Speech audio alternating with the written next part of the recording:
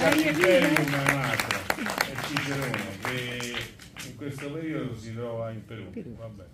Eh, Quindi stasera faremo gli onori di casa io e Anna. Anna è la nostra libraia di Trevignano, è un'altra persona che tiene qui un, un presidio culturale eh, a Trevignano ed esiste. Ecco. Allora, questo film eh, che si chiama Castelrotto eh, è un film ambientato in- nelle Marche, in un paesino delle Marche e dove succedono strane cose. E a questo punto lascio la parola a Anna. No, il rischio è che vi dice che l'assassino è il parroco, quindi è meglio che lo... eh, così per sapere chi di voi viene dalle Marche, cioè marchigiano di nato, marchigiano, non so come si dice, marchigiano o marchigiano? Con la sci? Ma, allora, mi perdonerete se questa purtroppo è una mia caratteristica personale. Quando eh, ascolto, sono in presenza di persone che hanno dei dialetti, non questo sia, poi tendenzialmente quando mi rivolgo a loro tendo un po' a calare, ad avere le calate tipiche. Quindi mi auguro che dopo, quando arriveranno il regista e uno degli attori. Allora, premessa, questa sera ci sarà Damiano Giacomelli, sapete, è il regista, questa è un'opera prima. Poi ci sarà Giorgio Colangeli, che qui a Trevignano abbiamo già conosciuto e incontrato perché è già venuto più volte, e ci sarà Mirko Abruzzetti. Ora, Mirko e Damiano sono marchisciani e parlano con uno spiccato accento marchigiano, brava, mi, mi aiutano nella declinazione. Qui c'è una fila che sono i fan, eh, quindi perdonateli se ogni tanto diranno delle cose. Mentre invece Giorgio è romano, ma lo sentirete nel film. Non voglio anticiparvi nulla, adesso visione e dopo, quando si riaccenderanno le luci, tutta la truppa sarà qua, pronta. Grazie. Siamo qui, io intanto ringrazio e saluto Damiano Giacomelli che era entrato per vedere insieme a, a noi la parte finale. Mirko Abruzzetti e Giorgio Colangeli.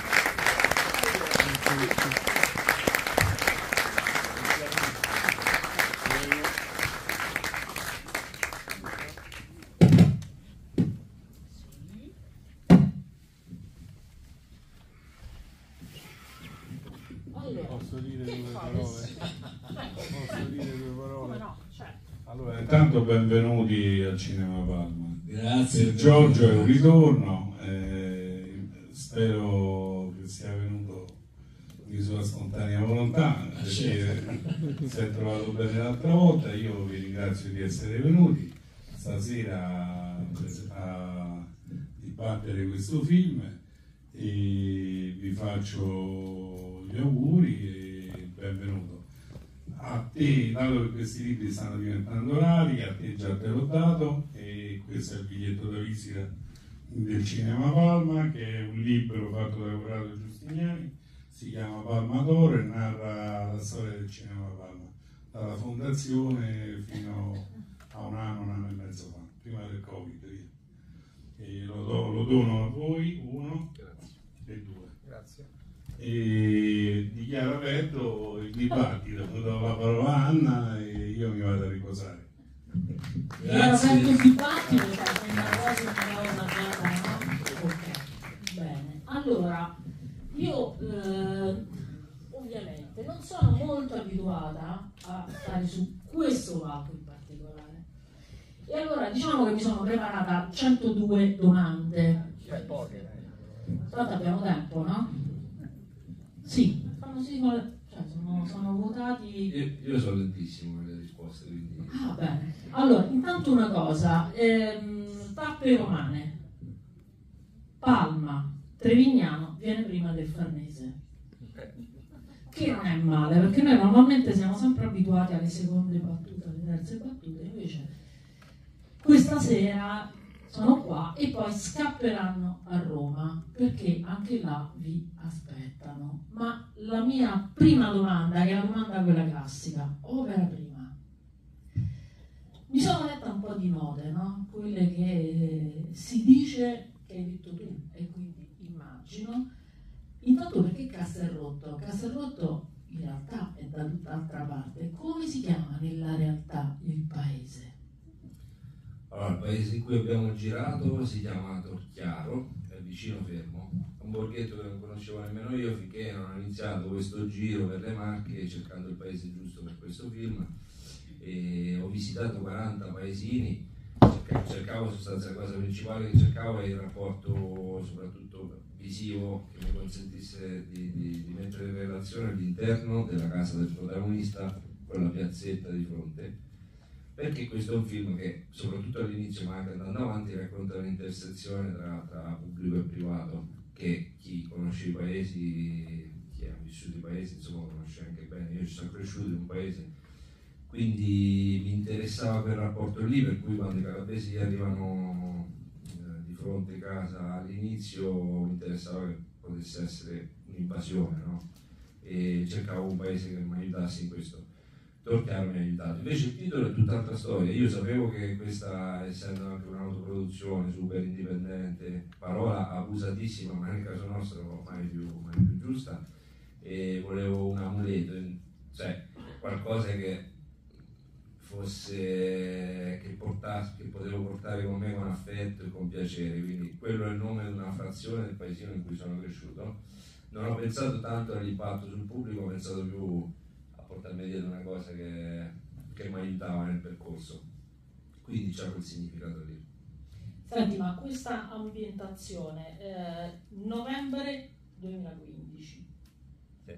c'è una data, perché nella realtà se noi guardiamo il film potrebbe essere un qualunque paese della provincia italiana classico dove si è fermato il tempo, dove tutto quanto è un po' datato, no? perché appunto la bocciofila, lo spaccio della signora, che però vede soltanto alcune cose, eh, un certo tipo di arredo. Però non è casuale il fatto che tu abbia voluto fotografare, anche perché ormai l'abbiamo visto tutti, nelle scene finali c'è un evento mm.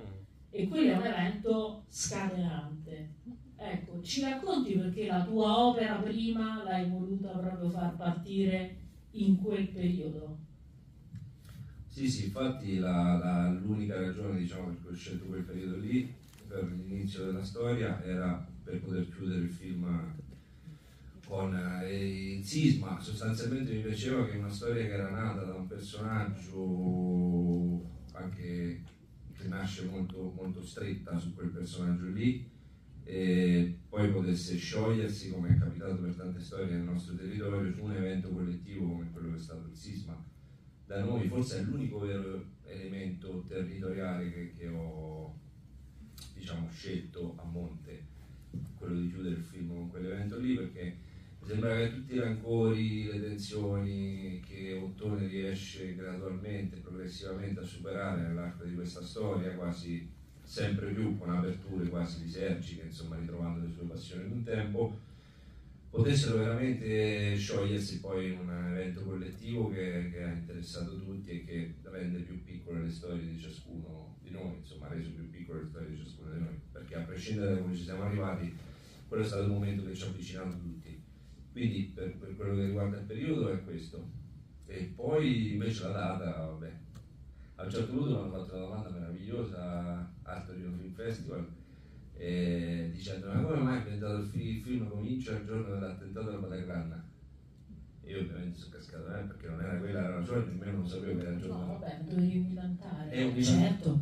ah, hai milantato eh, no in realtà non ho milantato però ho cominciato poi in prima battuta gli ho detto semplicemente che quello era il giorno in cui abbiamo chiuso la post produzione il 18 novembre. Per me quando chiudevamo la posta poi iniziava la distribuzione quindi era una data così che anche lì un sacco, sacco di cose che mi tornano come senso, ma però non è che mi interessava, era giusto per il film che fosse l'inverno precedente al sisma, per il resto poteva essere qualsiasi giorno, quasi. Però poi ho pensato che a Parigi ci ho studiato, per Bataclan ci ho visto concerti, eccetera, e quasi riuscito, con quello è stato il momento in cui ho pensato da quando il film esce in realtà è anche degli spettatori, eh, perché ragionandoci poi ho pensato ma forse c'ha senso anche questo, pur non avendoci mai pensato a monte, però è stato bello. No, pur non avendone avuto consapevolezza. Sì. Eh, no, Ah, no, no, no, no, no. no, recupera, no? Bella. Sì, sì, sì, sì. Era già presente nelle tue riflessioni. Sfondi una porta aperta. Ecco. Sì, sì. Eh, una cosa, allora, il, il- il film praticamente c'è questa finestra, no? Che è nel centro del paese, che è il punto di riferimento e intorno al quale poi ruota tutta la storia, la storia di Ottone, ma non soltanto di Ottone. Eh, la musica che viene utilizzata, al di là del fatto delle passioni no, della fisarmonica, che uno dice, vabbè, potresti anche evitartela, di suonarla, specie all'inizio, uno dice, ah, bene, però c'è questa apertura e chiusura continua, no? Sì. sottolineata dalla musica, almeno io l'ho, l'ho percepita, l'ho percepita così. Quindi era voluta o è una mia illuminazione inconsapevole? No, no, percorso suo, io Ottone l'ho incontrato dall'interno, nel senso che ho cominciato progressivamente, dopo aver raccolto notizie legate a- al territorio in cui abito, ho iniziato a, a vivere, a leggere queste notizie di cronaca locale attraverso un filtro un po' rancoroso e solo dopo mi sono reso conto che quel filtro apparteneva a un personaggio, che era quello dottore. E poi quello che ho fatto io, credo che è la stessa cosa che fa il pubblico nell'arco del film, è cercare di capire da, da cosa deriva quel rancore e, e quindi accompagnarlo in questo percorso che come giustamente dici tu poi è fatto di chiusure perché lui all'inizio sembra quasi portare avanti una crociata estremamente conservativa no, contro questi calabresi ma di aperture nella misura in cui paradossalmente questa crociata lo riavvicina alle sue passioni, della scrittura, dell'investigazione e poi questo genera delle riaperture. E, e proprio questa contraddittorietà nel suo percorso è quello che mi ha fatto scegliere di fare questo film. Per cui queste aperture queste chiusure, sono accompagnate anche da cambi di linguaggio e scelte musicali, eh, per me sono insomma, il, il- nocciolo del, del progetto. Eh, qui parto con, invece con una domanda un po' cattiva per entrambi, no, una domanda un po' cattiva per entrambi. Eh, Giorgio Colangeli, noi ce la ricordiamo qui per Mindemic e anche lì c'è la stessa, la stessa figura, no? cioè quella dell'uomo che in realtà non ha più molto da fare, che è un po' scorbutico, è isolato e che improvvisamente recupera una macchina da scrivere e scrive una storia. E anche lì, primi piani, proprio senza paura, senza nessun tipo di, di, di, di velo, qui la ritroviamo di nuovo, solo scorbutico, tutto, e la macchina da scrivere. Ma c'è qualcosa di reale in tutto questo. Come mai questa cosa? Perché ci si trova proprio scorbutico, è antipatico, è chiuso. No, ma mi piacciono molto le persone che riescono ad esserlo, perché io avrei anche dei buoni motivi spesso per esserlo scorbutico, cioè, però mi, mi trattengo, mi inibisco, perché poi sono invece un grande cacciatore di consenso. Allora quelli che ci riescono, quelli che, cioè, che tengono i musi, che, che ci vanno giù duri, mi, mi piacciono, mi interessano. Eh, poi sì, sono due anche io ci ho pensato a quello che hai detto, a queste analogie molto forti anche, però poi ci sono anche molte differenze, nel senso che la solitudine del personaggio di Mindemic è assoluta e invece Ottone è- vive in un posto dove soli veramente non si è mai anche lo scorbutico che si sottrae alle relazioni, che si chiude in casa, eh, però lo sanno tutti, tutti sanno cosa sta passando, tutti sanno anche perché si è ridotto in quel modo, se non tutti noi lo, lo- lo sentiamo dalla gente che, che è stato un suo allievo, cioè c'è una, una rete di relazioni che rimane in piedi nonostante il, il desiderio di, di, di Ottone di isolarsi, no? ma il paese intorno eh, è come testimone di questo isolamento, cioè eh, come sta Ottone? Eh, sono 15 anni che, che è strano, diciamo, lo sanno tutti. Quello che succedeva nell'appartamento di Mindemic non lo sapeva nessuno, neanche neanche, lui, lui. neanche, Neanche lui. lui era Quella solitudine lì sarà una solitudine da, in- da ricoverato in un ospedale, in un manicomio, eh, in una casa, nella casa di chi, forse non la sua, di qualcun altro, insomma, non si sapeva nulla. Invece Mirko con questa eh, storia, ovviamente, no? quella del classico bravo ragazzo del paese che trova la ragazza carina e poi, come giustamente dice Ottone, ti sei lasciato fregare. Cioè, sei andato proprio giù. Eh? Te l'avevo detto, Eh. te l'avevo detto.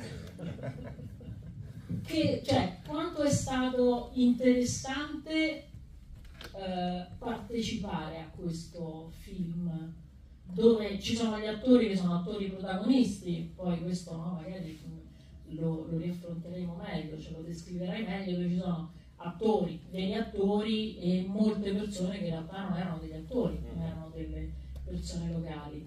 Cioè avere come, contra, come, come contraltare, no? perché spesso nel film poi ti viene chiesto, ma cioè, detto Ottone, hai fatto tutto per Ottone, sei molto legato ad Ottone. Beh, lo dico nel senso che io ho frequentato, ero suo alunno, quindi c'è oltre, oltre un fatto, anche se comunque di età siamo lontani, però c'è un'amicizia forte, un'amicizia vera. Ehm, il percorso, infatti la, la scena quella che, che ho sofferto di più, Damiano lo sa, è quella quando vado a casa sua che sto ubriaco e lo, lo prendo per il collo, parte che L'ho comunque... sofferto anch'io quello. anche la libreria dietro l'ho sofferto.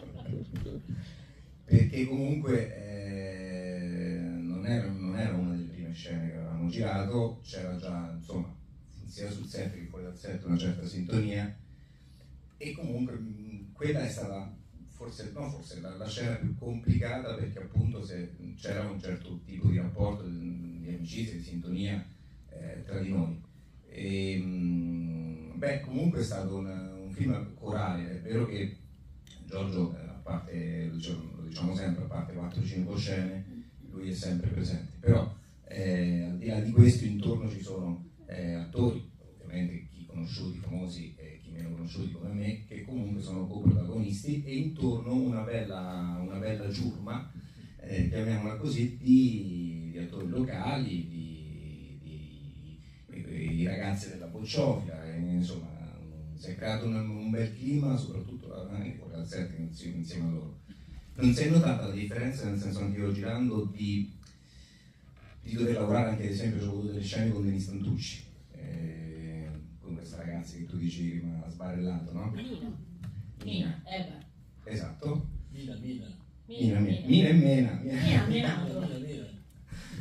E quindi perché eh, vita capita, capita anche in queste situazioni in cui all'im- all'improvviso succede qualcosa, una scintilla tra i due che però finisce per tanti motivi.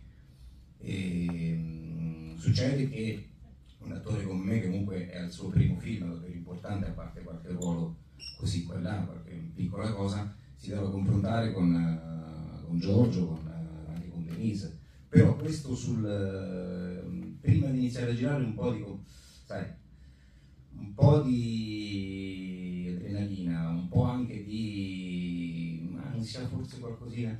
Invece poi sul set non, non c'è più, perché entri in un, in un mondo del diverso e quindi chi sei sei, vai, trovi sintonia, trovi il personaggio. Fortunatamente il mio personaggio è stato scritto molto molto bene, perché all'inizio appare come un, chiamiamolo tra virgolette, un, superficialmente un po' sfigatello oltre che bravo ragazzo, tu hai detto bravo ragazzo, anche un pochino sembra sfigatello, no? All'inizio potrebbe sembrare. Poi invece tutto un percorso comunque di evolutivo vengono fuori tantissime cose di, di questo ragazzo, tantissime qualità, tantissime altre robe, insomma. E non a caso è amico di Ottone Pessanti. E ecco. Ma quanto sono stati liberi loro di cambiare, di interpretare quello che era? Perché intanto tu sei stato sceneggiatore, regista, produttore, distributore. Per usare una terminologia francese te la sei suonata e te la sei cantata. Non so se ti dice anche le marche. Sì, sì, Eh? canti. Beh, eh, scusi maestro, come si direbbe in, in marchigiano? Sì, perché abbiamo allora tutti hanno apprezzato eh, questo. sono un po' arrugginito, comunque penso Eccola. si dica Telasoni e Telegrandi. Ah, della- confermate? Telegrandi. Voi autoctoni confermate che si dice Ben detto, ben detto. Sì, dicono di sì, confermano. Eh? Con, quel, con quella, no, Telasoni e Telegrandi? Ben detto. Mi sento un po' magelatese, anche qui a Trevignano, che non c'entra niente, che, no? Non c'entra niente. Eh, Allora, quanta Eccoci. libertà, quanta libertà questi. Ah, intanto il processo di scrittura è stato molto Eh. lungo, quindi poi la sceneggiatura, il draft eh, che abbiamo girato era, io ero abbastanza convinto, quindi da, da lì poi c'era abbastanza poco da cambiare. Però abbiamo molto lavorato prima sulle prove, su, e quindi io quando ho tempo, ovviamente le storielle, no, io quando c'è tempo e di solito se non c'è una produzione che ti mette fretta, se la produzione sei tu, c'è tempo, quantomeno è l'unica cosa positiva.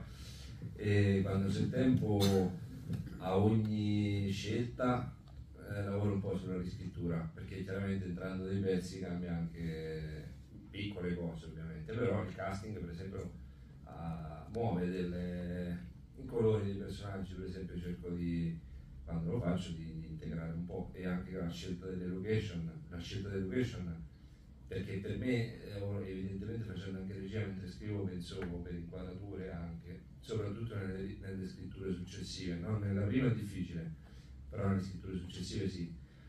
Quindi ecco, si arriva a un testo sul set che è già stato suscettibile di modifiche, ma organico, mi piace pensare in maniera organica, ecco, non perché qualcuno della che all'improvviso deve, deve entrare un fenicottero testimonial della Nokia che devi fare una scena, questo tipo di cose no. Di solito è, è il film che respira in fase di preparazione e integra delle cose. E, e quindi, e quindi poco sul set, ma molto prima sul set però eh, diciamo eravamo, non eravamo in moltissimi, c'era questa convivenza con il paese, con Torchiaro, perché noi ci siamo tutti trasferiti in questo paesino, nelle seconde case libere di questo paesino e nell'ultima parte dell'epidemia Covid e quindi a metà del set poi ci siamo tutti presi il Covid, abbiamo interrotto due settimane. Sono cose che mi sento di dire per un piccolo film a bassissimo budget sarebbero state letali se i componenti della truppa fossero stati solo dei professionisti. Per fortuna era anche una, una piccola comunità, una famiglia, per cui grazie a quello abbiamo retto botta ci siamo, siamo tornati due settimane dopo senza quasi perdere elementi e queste cose qua insomma sono molto importanti, mi hanno insegnato, insegnato qualcosa in più. Però ecco, sul discorso della produzione, della distribuzione, io non ho mai assolutamente chiuso porte, però ero abbastanza consapevole della natura di questo progetto e quindi chiaramente era difficile, in alcuni casi era difficile collaborare con esterni se questa natura veniva fortemente insomma, manipolata o violata.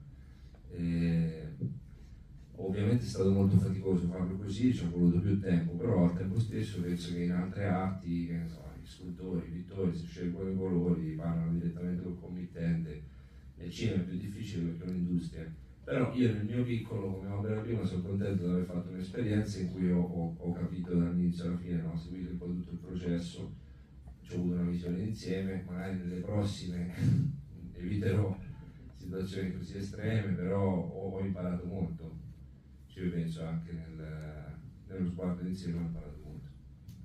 Ma una cosa, ehm, rispetto al, al finale? Cioè è esattamente come tu lo volevi? Cioè questo personaggio, il personaggio di Ottone, è un personaggio che vive tantissimi anni con, eh, come dire, con un odio profondo, no? Sì. che è rispetto ad una situazione per una perdita. Dopodiché si rende conto in finale che non era quello che lui eh, ha vissuto, la verità. Anche se poi non la dice finalmente e tutta, no? perché si ferma sempre un momento prima, eh, quasi avendo riconquistato, almeno io l'ho letta così, avendo riconquistato una felicità, cioè avendo in qualche modo ritrovato la moglie, ritrovato la figlia che c'è sempre stata, ma magari adesso lui la sente, quindi c'è stato questo ulteriore passaggio e poi però il finale diciamo che lo libera? Sì, sì, sì. Mm, sì. Siete convinti che lo libera? Lo libera il finale di Ottone? Beh, le scene finali non è che sono proprio, perché uno pensa il momento nel quale poteva finalmente star bene, arriva la fregatura, suggerisco. No, si pacifica perché poi È un errore? secondo me è. Allora, Io, queste sono le situazioni in cui per deontologia professionale non direi niente. ma lascia l'interpretazione del No, nel senso, i film, alcuni dei film che ho amato profondamente, dicevamo, diciamo tante volte, eh, iniziano a vivere quando finisce la proiezione e lavorano anche per anni. E io sono abbastanza convinto di questa cosa, nel senso che ho fatto delle scelte, non è che è successo, che mi è capitato che cioè, ho fatto delle scelte, per cui evidentemente questo film c'ha anche delle aperture. Mm, il plot, cioè la, la storia in sé, eh, ci stanno tutti i pezzi per interpretarla dentro, se uno vuole però ah, quello che mi interessava di più è che quello- rispetto a quello che dicevo prima, cioè l'arco che lui ha, a questo rancore che si alterna invece delle aperture, io penso che la soluzione, visto che è un film che parla anche di giornalismo, di notizie, di fake news, eccetera, penso, ero sempre più convinto che la soluzione non fosse nello stabilire se lui aveva torto o ragione, ma eh, il paradosso diciamo, che si verifica in tribunale è che lui effettivamente riesce a avere torto o ragione contemporaneamente e questo fa saltare una logica proprio di, di trend topic, no? binaria, di polarizzazione dritto per dritto, che è quella che ci assilla su qualsiasi tema affrontiamo oggi, per cui complessità nella storia di un essere umano fa sì che eh, appunto ci saranno più, più sfaccettature, non è o, o bianco o nero e quindi mm, ma molto convinto che il tribunale lui riuscisse ad arrivare a questo epilogo che pure è paradossale ma, ma che gli insegna molto beh, nella direzione in cui sta andando. Sì, caro Giorgio Colangeli, eh, non gli puoi menare sempre se non si abitua. Ah, E il suo dottorino parlava così. non ho scritto io questo. Quindi, insomma, violento, ma, ma non troppo. Però sono queste frasi no, che restano in un certo film del quale non diremo il titolo, ma che c'è ancora domani, ma non lo diremo perché non è carino parlare di un altro film. Eh, c'era questa frase, no? una delle tante frasi che poi nell'interno del trailer che veniva ripetuta e che ci è rimasta nella testa. Qui la frase, ehm, il mio, mio marchigiano è pessimo, io quando ho tempo mi invento le storielle e quelle buone me le scrivo. Quindi c'è sempre una nota, una caratterizzazione importante. Allora, quanto contano nell'interno di un film, e qui mi rivolgo a tutti, determinate frasi, che poi sono le frasi tormentoni, no? un po' come il ritornello delle canzoni, sono quelle cose che ti restano in mente. Allora, quanto sono importanti determinate frasi? Non è un caso che è stata scelta per il trailer.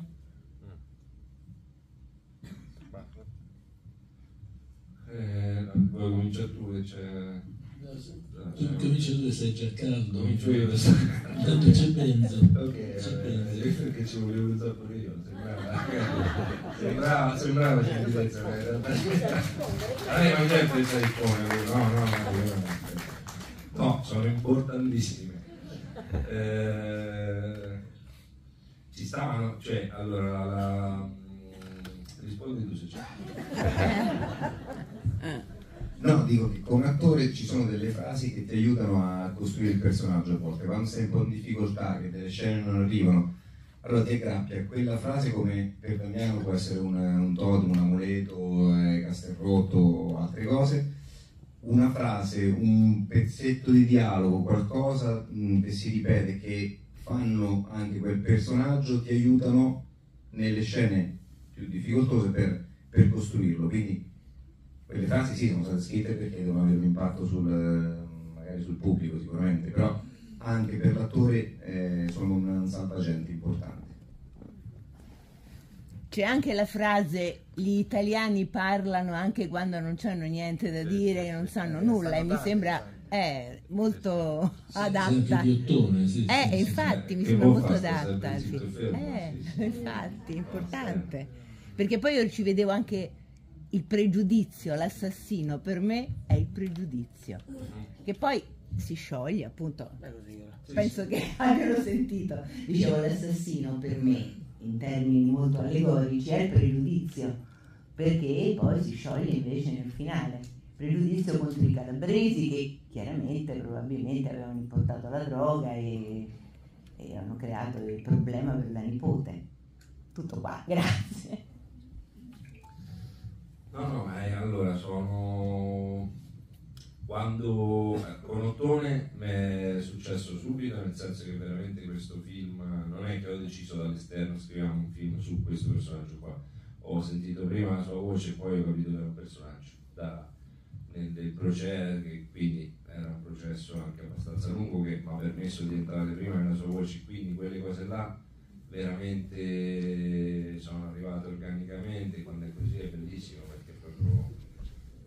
eh, non è più un fatto che sbagli, dici bene o dici male, giochi, capi- cioè, sai qual è il campo da gioco e, e- i dialoghi lavorano, lavori magari un po' sui toni, lavori eh, però non lo so, è un processo estremamente naturale sul protagonista. Gli altri ci ho messo un po' di più per, per capire, spesso arrivano in risposta a tante cose, eh, arrivano in risposta a, a scambi con Ottone.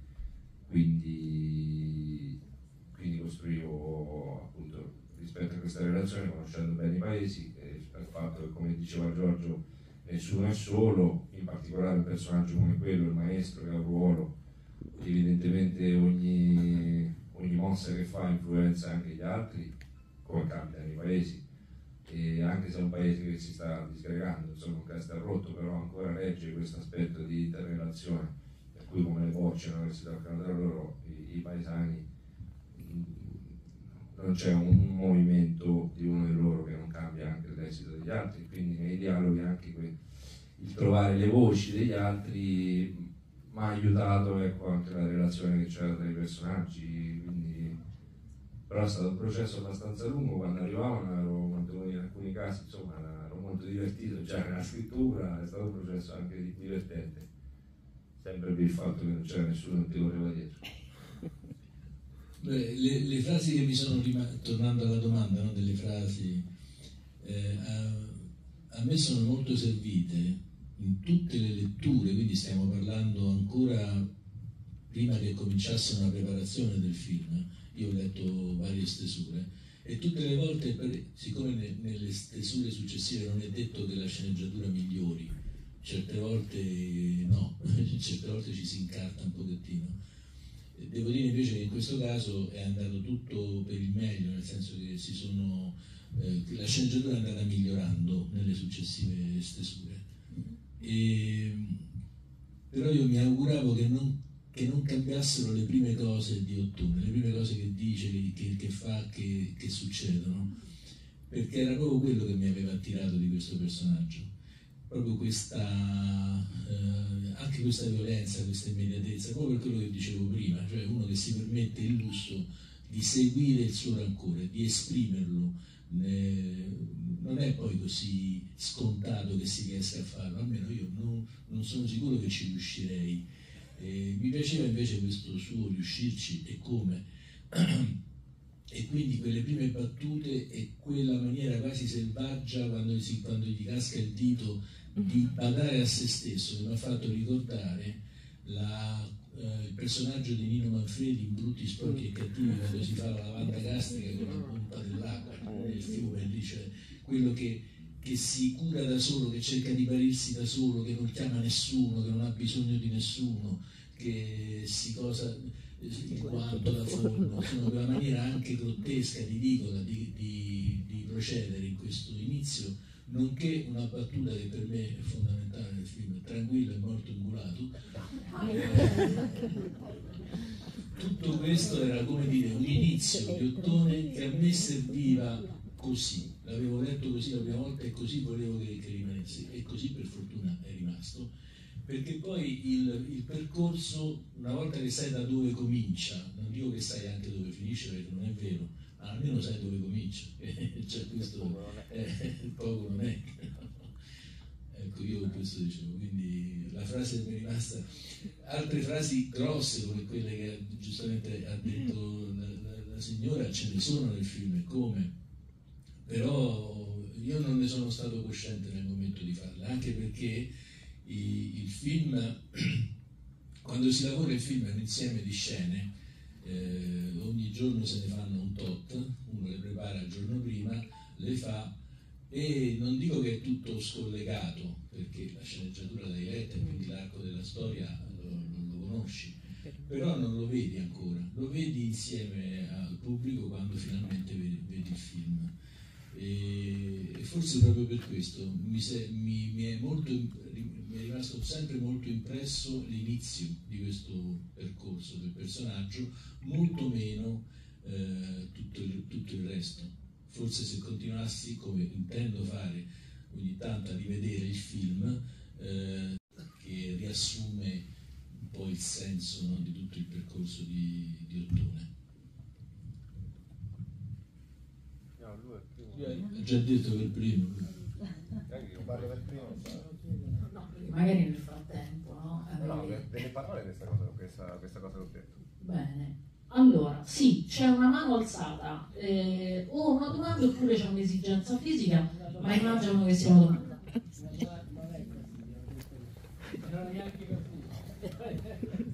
No, eh, L'esigenza fisica è così. volete l'audio? Ah, buonasera.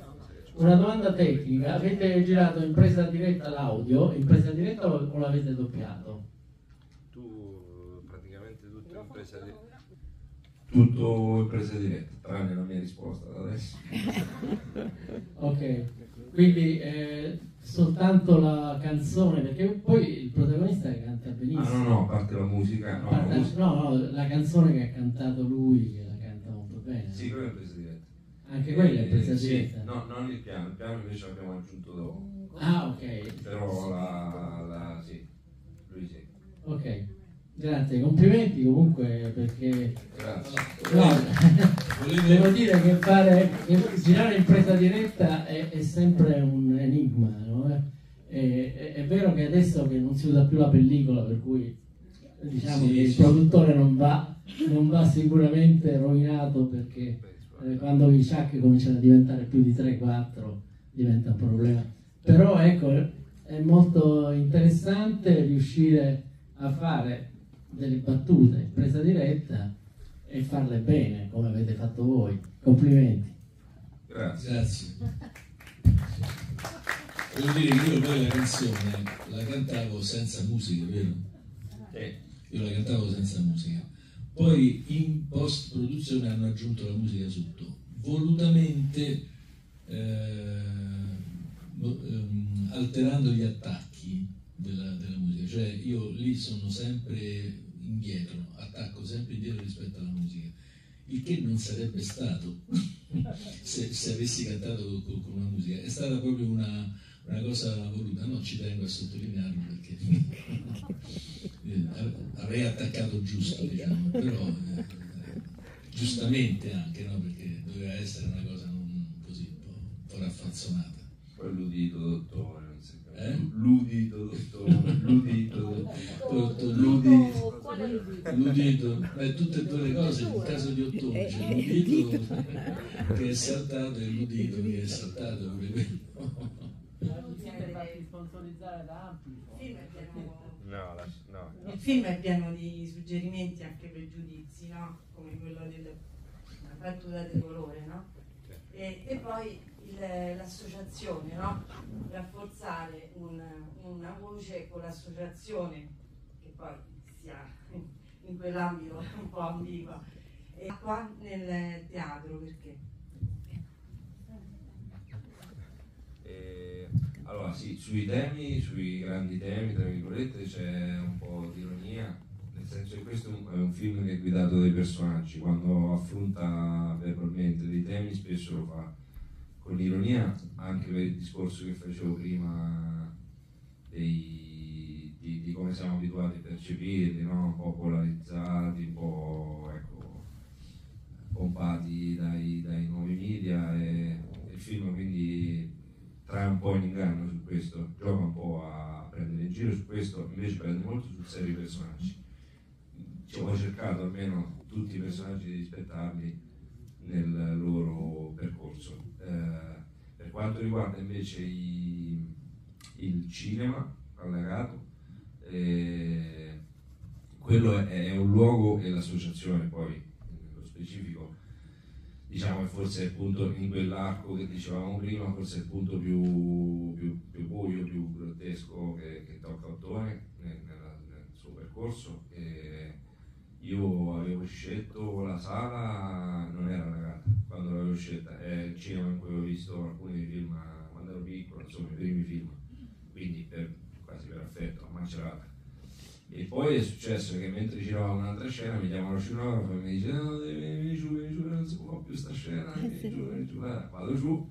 E aveva piovuto e quindi la, la sala le prime due file erano completamente allagate. E, e questi del cinema mi dicono no, abbiamo una pompa, con la pompa possiamo tirare fuori, non un costo, ma niente di che, però di qua e di là. Io dico no, fermi tutti, cioè, è un regalo pazzesco per, per lo scopo, chiaramente per, per il senso della scena era un regalo pazzesco, quindi quando l'ho visto meraviglioso, ecco. Sì, sì. Sì, siamo stati anche fortunati. Però quando vai, non so, ma ho l'impressione che se prendi la strada giusta, sicuramente eravamo sulla strada giusta, queste cose poi possono capitare. Cioè, questa cosa ci è capitata. allagamento dell'olio, quando arrivi, arrivi veramente in fondo Sì, sì, e l'acqua anche. sprofonda. Sì, sì, No, no, infatti... Poi la, la maniera assolutamente naturale con cui tutti i personaggi si muovono in quell'ambiente, no? come se fosse assolutamente naturale che no, le prime due file di, di- di un auditorium sono allagate, vabbè però andiamo avanti. eh. Questo, no? Questo eh, abituarsi al peggio, abituarsi, no? Sì, sì, stanno là per il avanti. Ehm, ma anche la reazione stessa di Ottone, no? Dice che siete, siete un po' strani. però siete Però sognatori. siete sognatori, no? Però- Viva in questa situazione.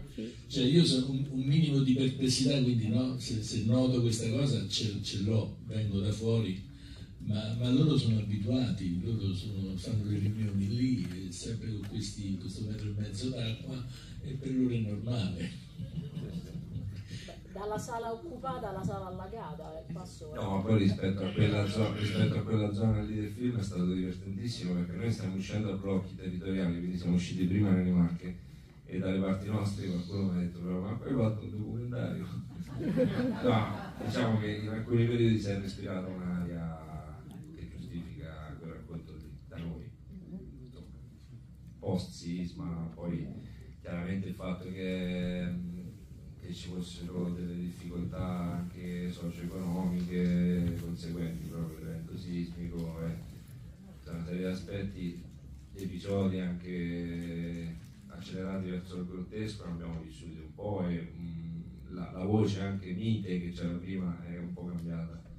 E quindi è un film che si alimenta anche di quel mondo lì, chiaramente anche se non lo racconta esplicitamente, io penso che sia un film che dialoga con tutte le, le periferie italiane sicuramente, più che periferie, le aree interne in- spopolate, lontane dai principali centri di comunicazione italiani, sanno di che si parla. Mm, Non dico che hanno tutti gli stessi episodi perché nelle Marche eh, questa credine insomma ha, ha cambiato tantissimo invece la, la, la mitezza che poteva caratterizzarlo in passato però comunque ben comprensibile cioè, linguaggio a parte che un po' caratterizza, ma è ben compre- sono dinamiche ben comprensibili. Allora, io devo purtroppo devo, devo salutarli, dobbiamo salutarli perché appunto hanno questo impegno a Roma, al Farnese. Io li terrei qua fino a mezzanotte, mezzanotte e mezza. Ma eh. torniamo. Ma torna, cioè, eh, Io io torno, eh, e se lui torna, eh, è chiaro che torna, eh, perdona, la, la- ma eh, vabbè, è troppo forte, questi i dialetti, per me, tutti i dialetti per me, sono delle grandi ricchezze, sono delle grandi storie. Purtroppo spesso invece vengono prese un po' così, no? come se fossero delle cose negative. No, mi piace perché loro due comunque, voi siete marchigiani, eh, non c'è qui con noi stasera la Attili che è stata trattenuta a Farnese, cioè l'hanno tenuta in ostaggio. C'ho degli impegni nel pomeriggio. Non Ha avuto degli impegni, questi attori, no? questi che piuttosto che venire a Trevignano prendono impegni. quindi sta facendo l'introduzione al farnese. Stai facendo siamo l'introduzione e voi state qui, che vi importa? Tanto, va bene. Grazie a tutti e a presto. Grazie.